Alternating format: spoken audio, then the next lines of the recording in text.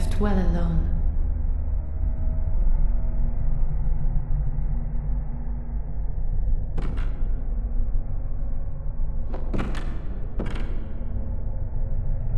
Oh, I know very well how the secrets beckon so sweetly. Only an honest death will kill you now. I you from your wild curiosity.